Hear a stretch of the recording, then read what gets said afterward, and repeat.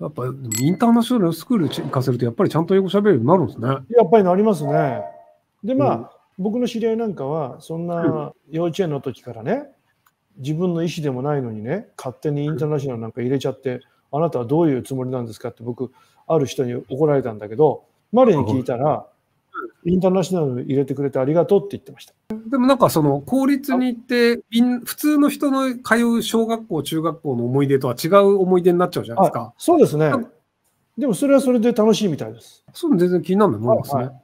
それとね、インターナショナルだとね、まあ外人がほとんどで、あとはハーフ。うん、そうするとね、日本の学校行くとね、関根勤の娘、関根マリになっちゃうんですよ。ああ、そっかそっか。ま、マリちゃんじゃなくて、その、関根勤の娘だぞっていう、その扱いになっちゃうんですね。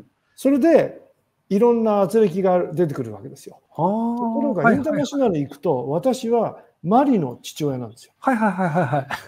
あ、ペットさんを知らない人も、まあ、外人さんでいるから、あ、マリちゃんのお父さんですよね、ぐらいの。そうそうそうです、そうです。だからマリはのびのびと普通に普通の生徒と一緒に過ごせたんです。へえあそう気楽な感じでいけるんですね。そうなんですよ。バイリンガルになってくれましたね。その質問にまたあるんですけど、マリさん、アメリカの大学を首席で3年で卒業したと聞いてびっくりしました。はい、えー、あと国際結婚もされましたが、関根さん的に何か大変なことありましたかっていう。大学3年で卒業ってかなりすごいし、首席もすごいですよね。あの学部首席なんですけどもね、まあ、自分で選んでボストンの大学行ったわけですよ。学校の成績出して。で、がで向こうに行って。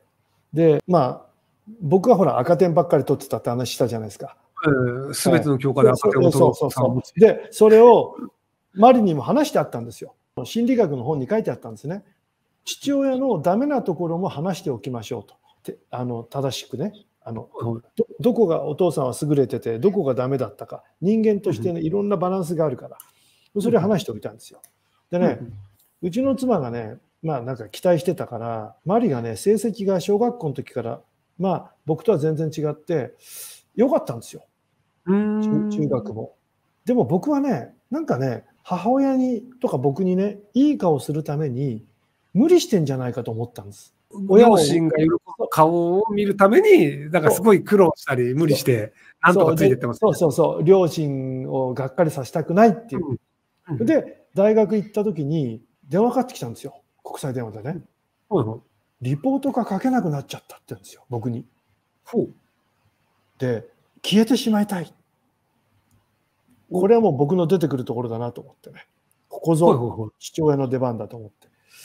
マリー、お父さんはずっと心配してたんだよ。無理してるだろう。優等生の仮面をさ、もう下ろしていいよ。赤点取ったって構わないんだよって言ったら、うん、お前と一緒にするなよって言われました。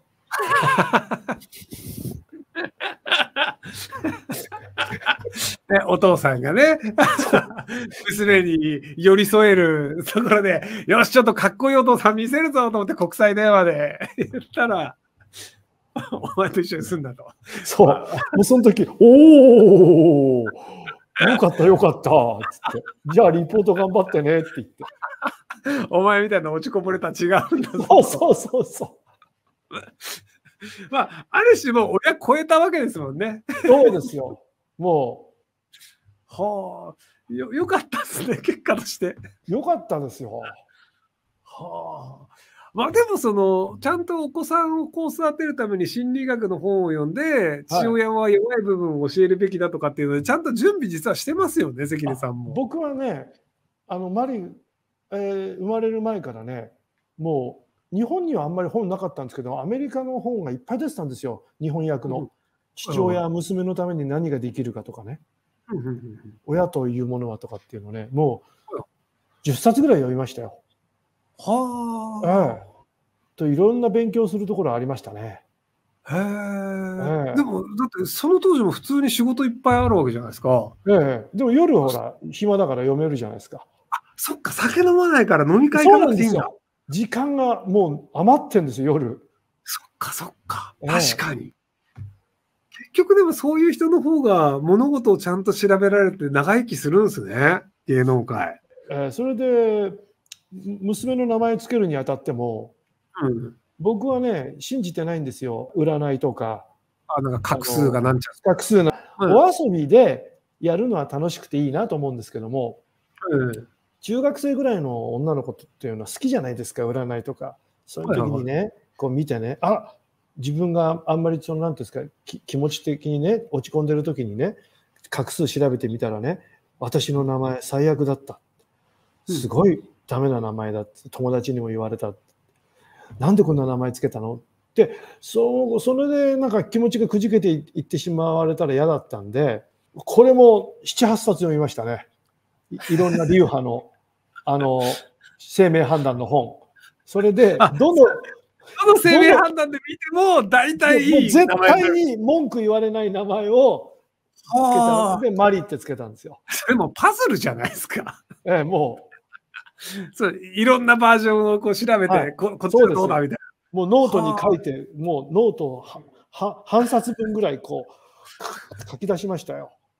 へえ、そう生まれる前からすげえ時間使ってるんですね。それでもう絶対誰にも、だから例えばうちのマリが中学ぐらいの時にね、あの、うん、落ち込んでなあなんだいい名前なんだ画数いいんだっていうふうになってくれればいいなと思って。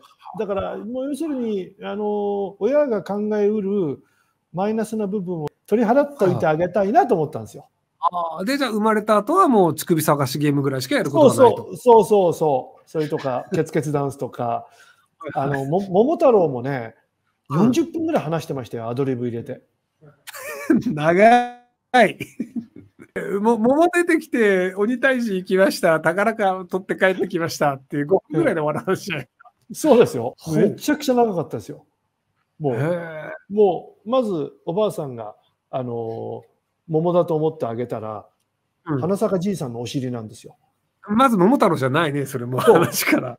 で花咲じいさんが、すいませんでした。あのね、もう僕ね、もっと枝の細いとこまでね、花咲かそうと思って、あの行っちゃって、川に落ちちゃったんです。すいませんって言って、気をつけてくださいよって言って、また、ま、どんぶらこっこすっこっこ。まあ、綺麗ね、バシャン。何？また花咲かじいさんじゃないの？ごめんなさい。うん、また落っこっちゃったっつって、結局その、あの、桃太郎、桃太郎って一つじゃなくて、同時進行で花咲じいさんがあったり、カチカチ山みたいなのが、そういうのが、こう、ああ、絡ませて、その桃太郎のストーリーの中に、実は隣に花咲じいさんがいて、花咲じいさんのカチカチ山のも起きてっていう、そうそう壮大なそのオムニバスドラマみたいにしたんですよ。要するに、要するに、もう、あの、一つの物語じゃないんだよと。つながってるんだよっていう。はいはい、だから、広い心でものを見てちょうだいねっていうこと。で、桃が流れてきて、今度桃をね、切りますね、ポンと。赤ちゃんが生まれてきた。おじいちゃん、うん、おおじいさん、おばあさんを喜んじゃって、名前つけましょう、名前つけましょう。何がいいかな？ロドリゲスがいいかな？ロドリゲス？と、桃太郎がもう喋っちゃうんですよ。ちょちょちょちょちょちょ。顔見てよ。どう見ても日本人でしょ？ダメじゃない、ロドリゲスなんて言って。あ、そうか。じゃあ、何にしましょうかね。ヒント、ヒントはね、ほら、見て、これ。僕、何の中入ってた？あ、桃だ桃だそうだそうだ、おばあちゃん、こうしよう。桃江ちゃんにしようね。桃江ちゃんっていい名前だね。ちょっと待ってよ。つってこう、おちんちん見せて。ついてんの？ついてんの？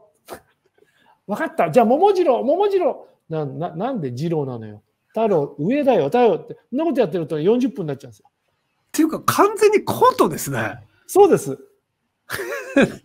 え、アドリブのコントをじゃあ娘さんの前でずっとやってたんですね。ずっとやってたんです。で、新しいギャグも入れてて。で、古いギャグをね、長くなっちゃうから捨てるとね、覚えてるんですよね。あの話はどう、あの話はどうなったんだっななんでロドリゲスの話はどうなったんだみたいな。そうそうそうそうそう。はあ、へえ、そういうふうにやってましたね。無駄にお子さんの記憶力も良くないそうですね。前話した話とここが違うみたいな。そうなんです。子供ってよく覚えてるんですよ。ずっと見てこういうところが変だよねっていうのと同じような体験をその桃太郎の話をしてちょっとずらすことでここが違うみたいな、ええ、同じ話をずっと繰り返してみるっていうのはじゃあ親子でやってるんですね。あそうですね。あの34年読んでましたね桃太郎。あずっとアップデートされて。はい、はい、はい。はあ、それ録音とかしなかったんですか？あ、しなかったですね。あら、もったいない。やっとけばよかったですね。あの頃30代でしたから僕もかなりスピード感もあったし、力もあったと思うんですよ、あの頃。へえチャンネル登録よろしくお願いします。